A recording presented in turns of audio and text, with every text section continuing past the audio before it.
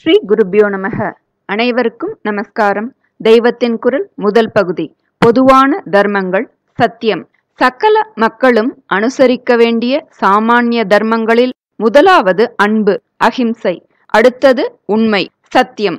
சத்தியம் என்றால் வாக்கும் மனசும் ஒன்றாக இருப்பதுதான். மனசில் ஒன்றும் வாக்கில் வேறொன்றுமாக இருந்தால் அதுவே அசத்தியம் என்று பெரியவர்கள் லட்சணம் சொல்லியிருக்கிறார்கள். வாங்மனசயோகோ ஐக்க ரூபியம் சத்தியம் மனத்தில் உள்ளதை வெளியிட்டு சொல்வதற்கென்றே பகவான் மனிதனுக்கு பேசும் சக்தியை தந்திருக்கிறார். மனத்தில் ஒன்றும் வாக்கில் வேறொன்றுமாக நாம் நடந்து கொண்டோமானால் அடுத்த ஜென்மத்தில் நமக்கு கொடுத்த பேச்சு சக்தியை பறித்து கொண்டு விடுவார். அதாவது மிருக ஜென்மத்தையே நமக்கு தருவார். பூரண அகிம்சைக்கு நமது சாஸ்திரத்திலேயே சில விளக்குகள் இருக்கின்றன. தர்மத்துக்காக யுத்தம் செய்யும் போதும் யாக யஜ்யங்களில் பலி தருகிற போதும் அகிம்சைக்கு விலக்கு தரப்பட்டிருக்கிறது.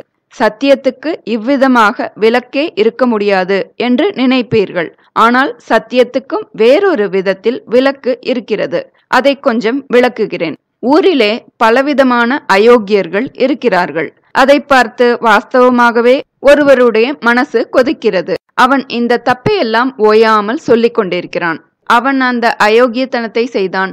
இவன் இந்த அயோக்கியத்தனத்தை செய்தான் என்று சொல்லிக்கொண்டே இருக்கிறான். இவனுக்கும் வாக்கும் மனசும் ஒன்றாகத்தான் இருக்கிறது.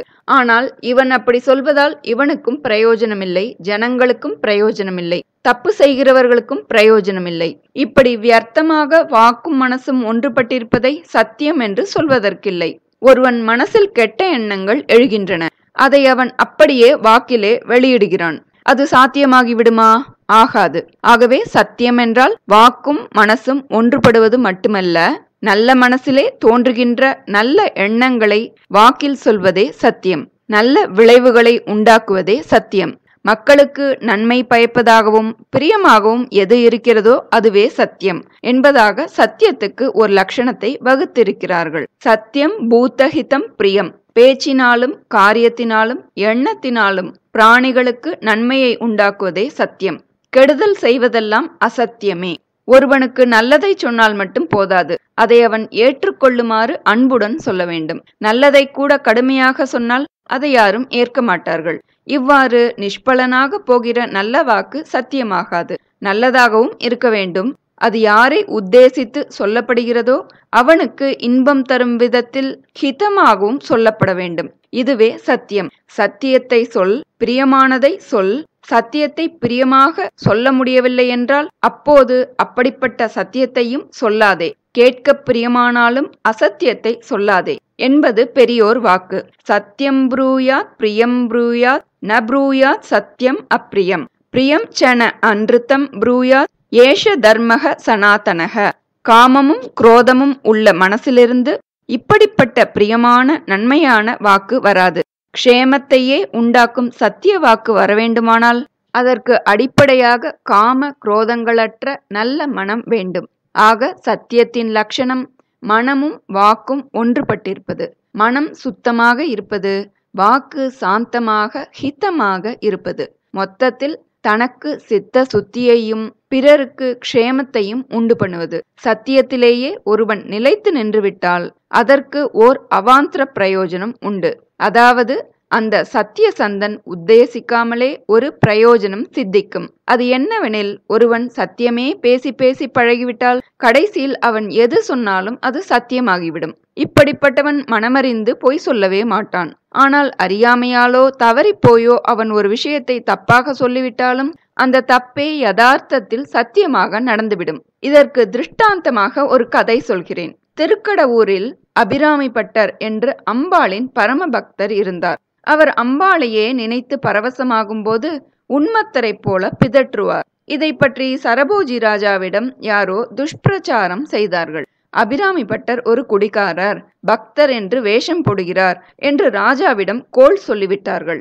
சரபோஜிக்கு இதை பரிசோதித்து பார்க்க தோன்றியது. ஒரு நாள் சரபோஜி திருக்கடவூரில் அம்பாளை தரிசிக்க வரும்போது அங்கே தன் வசம் இழந்திருந்த பட்டரிடம் இன்றைக்கு என்ன திதி? என்று கேட்டான். அன்றைக்கு அமாவாசை. பட்டரோ அம்பாளின் பூரண சந்திர முகத்தையே தியானம் செய்து பரவசமாக இருந்தார். எனவே அரசரிடம் இன்று பௌர்ணமி என்று சொல்லிவிட்டார். அரசன் தன்னிடம் மற்றவர்கள் பட்டரை பற்றி சொன்னது உண்மை என்றே நினைத்தான்.